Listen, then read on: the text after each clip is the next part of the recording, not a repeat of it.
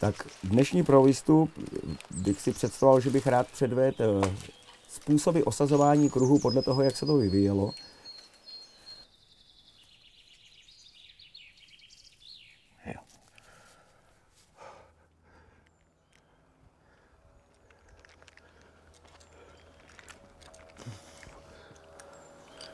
Je to kladivo, ty vole.